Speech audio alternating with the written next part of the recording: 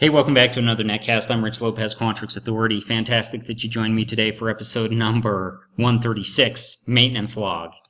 I have here a pretty basic model. I have a list of machines. Fool Creek 1, Fool Creek 2, all the way down to Frisco Peak. I have some information about them and where they live.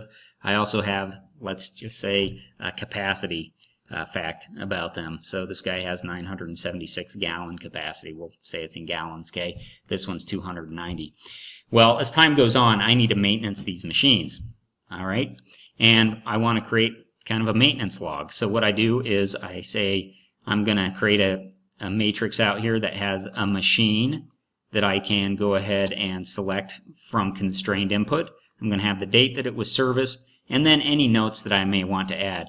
And then what I'm going to do is I'm going to create a counter, much like I did, or exactly like I did in episode number 134. This is going to be a running counter.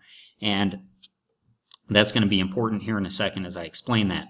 But this is kind of a, a two-dimensional log, right? I could filter on delta and I could say, all right, that, that will give me everything, all the, all the times that I've done maintenance and any notes that maybe I've added to it. And that's okay. But what if I want this to be on a on a canvas and I want you know I want really to be able to filter on the machine because maybe I want to see the facts of the machine from the machine master with the maintenance log on a single canvas. So manually having to filter on this is is not ideal.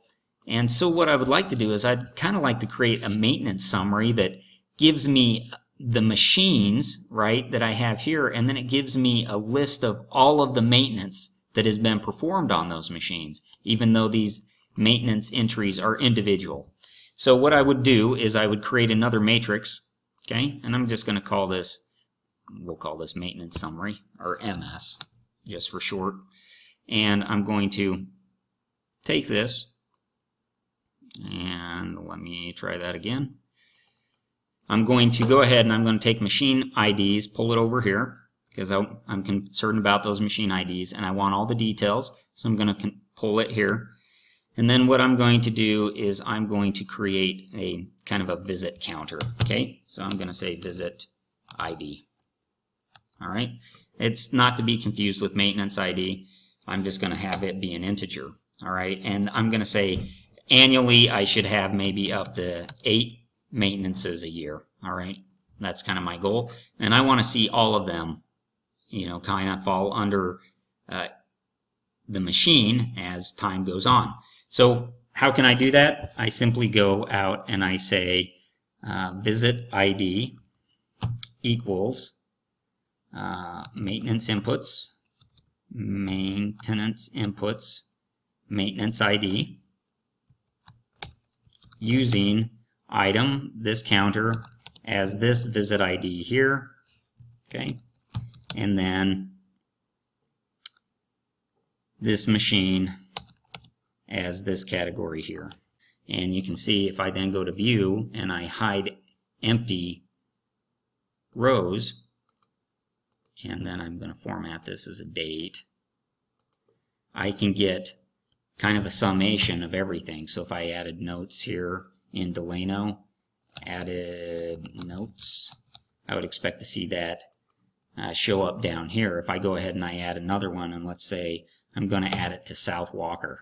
It's not here currently. If I go ahead and I add South Walker uh, 1, okay, bam, it just shows up. And then any details I input in here, input notes here, I put my date, and you can see it, it's showing up for me automatically in the summary. So again, what I would do is I would create a, a canvas, right?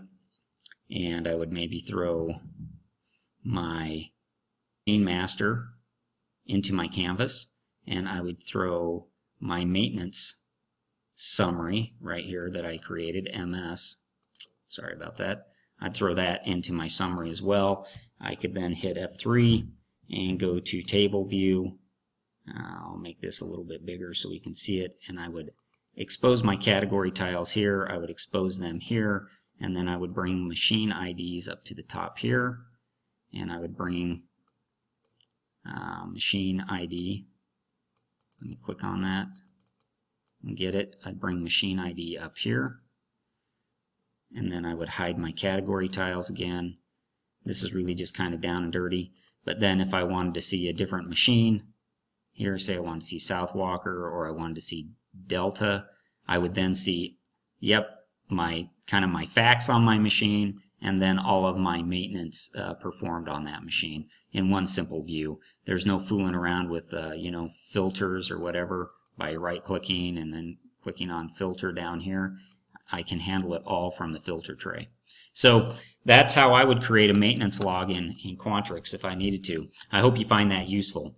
I hope that uh, if you have any questions about Quantrix that you'll come to my channel and try to find an answer. And if you don't find it there in the 136 videos I've now done, I hope that you'll reach out to me at quantrixauthority at gmail.com. I absolutely love Quantrix and I want to make you a Quantrix master. So please join me again for another episode of Quantrix Authority with Rich Lopez.